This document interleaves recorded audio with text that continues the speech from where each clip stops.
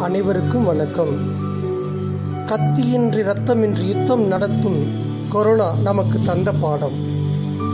வழங்குபவர் doctor B. John Victor.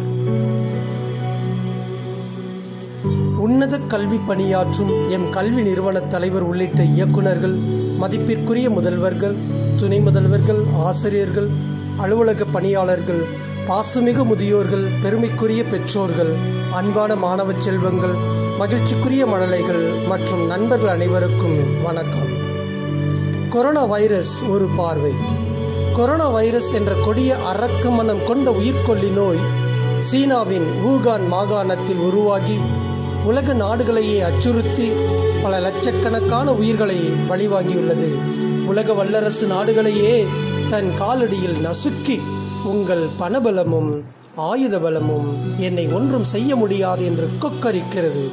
பொருளாதாரம் மற்றும் மருத்துவத்தில் பின்தங்கியிருக்கும் பல நாடுகள் செய்வதறியாது திகைக்கிறது.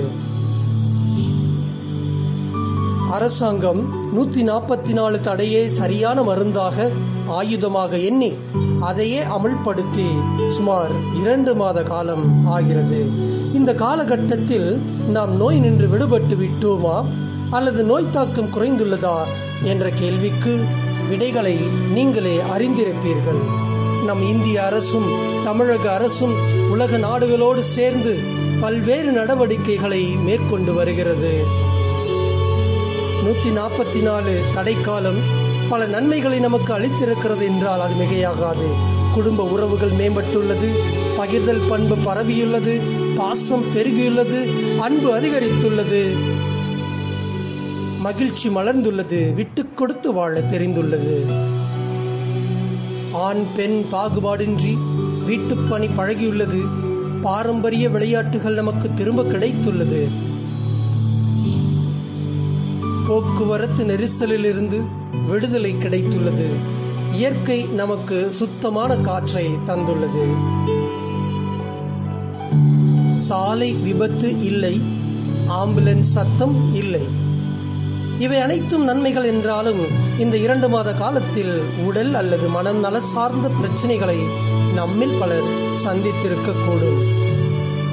நோய் தொற்று பயம் பணப்புழக்கமின்மை பண கையிருப்பு குறைவு ஒருவேளை கூட உணவில்லாமை உணவு பற்றாக்குறை தினசரி வேலையின்மை குடும்ப உறுப்பினர்களிடையே மனக்கசப்பு குழந்தைகள் முன்னிலையில் சண்டையிடுதல் தவறான தகவல்களை பிறரோடு பகிர்தல் பிறர் கருத்துக்களை ஏற்றுக்கொள்ளும் மனமின்மை சமூக அரசியல் சார்ந்த பிரச்சனைகளை பேசி பேசி குடும்ப நலன் சார்ந்த செய்திகளை பேச தவறுதல் ஊடகம் வாயிலாக தெரிந்து கொண்ட சிறு சிறு பாலியல் தொந்தரவுகள் பள்ளி மாணவ மாணவிகளிடையே காலம் கடந்த தேர்வு பயம் கல்லூரி தேர்வுகள் தள்ளி போனதால் இறுதியாண்டு மாணாக்கரிடையே எதிர்காலத்தை குறித்து பயம்.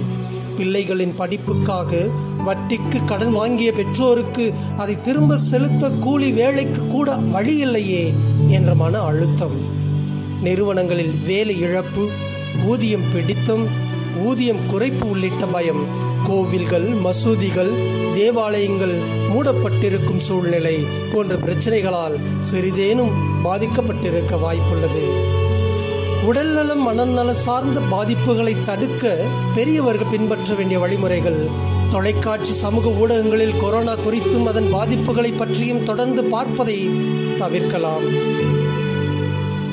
சரியான உறுதியான தகவல்களை மட்டும் பரிமாறிக்கொள்ளலாம் அரசியல் சார்ந்த செய்திகளை பேசாதிருக்கலாம்.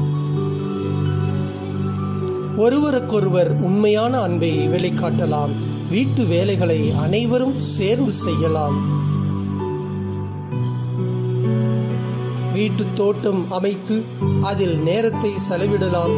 குழந்தைகளையும் சிறு சிறு வேலைகள் செய்ய ஊக்குவிக்கலாம். குடும்பத்திற்கு தேவையான எதிர்கால திட்டங்களை வகுக்கலாம்.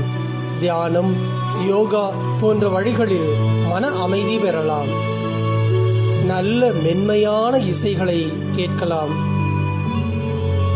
உடல்நலம் மனநலம் சார்ந்த பாதிப்புகளை தடுக்க குழந்தைகளுக்காக பின்பற்ற வேண்டிய சில வழிகள். நீதி கதைகளை குழந்தைகளுக்கு சொல்லிக் கொடுக்கலாம். சமுதாயத்தில் சாதித்து சரித்திரத்தில் இடம்பெற்ற மலாலா போன்ற பெண்களை பற்றி பேசலாம். நாம் வளர்ந்து வந்த பாதைகளையும் நம்மை உயர்த்தி அழகு பார்க்கும் பெற்றோர்களின் வாழ்க்கை முறைகளையும் பிள்ளைகளோடு பகிர்ந்து கொள்ளலாம். குடும்ப சமுதாய பிரச்சனைகளை எதிர்கொள்ள குழந்தைகளுக்கு கற்றுத்தரலாம். குழந்தைகள் பல புதுமையான செயல்களை செய்ய ஊக்கமூட்டலாம்.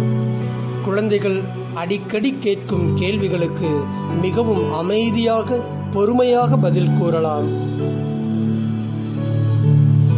குழந்தைகள் நன்கு விளையாடவும் சமூக விலைகளை கடைபிடிக்கவும் வழிகாட்டலாம். குழந்தைகளுக்கு முன்னால் கோபப்படுதல் எரிச்சல் அடைதல் மற்றும் சண்டையிடுதலை தவிர்க்கலாம். தேவைப்படுவோருக்கு சரியான நேரத்தில் உதவி செய்ய குழந்தைகளுக்கு கற்றுத்தரலாம். அடிக்கடி கைகளை சோப்பு போட்டு கழுவுதல் இருமுறை தவறாமல் குளித்தல் துவைத்த தூய்மையான ஆடைகளை உடுத்தல் போன்ற பழக்கங்களை சொல்லித் தரலாம் குழந்தைகளுக்கு குட் டச் பேட் டச் என்று சொல்லிக் கொடுத்தாலும் டோன்ட் டச் என்று சொல்லும் மன வலிமையை கற்றுக் கொடுக்கலாம். உடல்நலம் மனநலம் சார்ந்த பாதிப்புகளை தடுக்க அனைவரும் பின்பற்ற வேண்டிய சில வழிகள். நல்ல ஆரோக்கியமான முறையான பாரம்பரிய உணவு முறைகளை பின்பற்றலாம். பழச்சாறு மற்றும் பழங்களை தினசரி உணவாக சேர்த்துக் கொள்ளலாம். சரியான நேரத்தில் உறங்கி சரியான நேரத்தில் விழித்து அன்றாட பணிகளை உடல் நலத்தோடு கவனிக்கலாம்.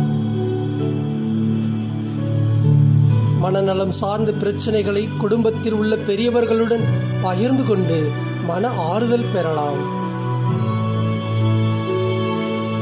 குடும்பத்தில் உள்ள ஒருவருக்கு திடீர் உடல்நலக் குறைவு ஏற்பட்டால் அதில் மனமுடைந்து போகாமல் விரைவில் மீண்டுவிட முயற்சி செய்யலாம். வீண் பெருமைகளையும் வீண் பேச்சுகளையும் தவிர்த்து மகிழ்ச்சியோடு இருக்க பழகலாம்.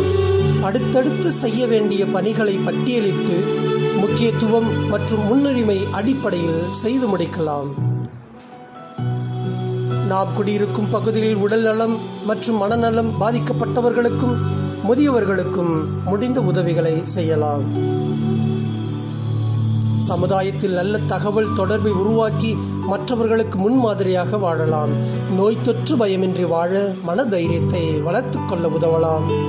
குடும்ப நலன் சார்ந்த ஆரோக்கியமான உரையாடல்களை மேற்கொள்ளலாம். இப்படி செய்தால் உடல்நலம் மற்றும் மனநலம் சார்ந்த பிரச்சனைகள் வராமலும் வந்த பிரச்சனைகளை எதிர்கொள்ளவும் மகிழ்ச்சியாக வாழவும் நம்மால் முடியும்.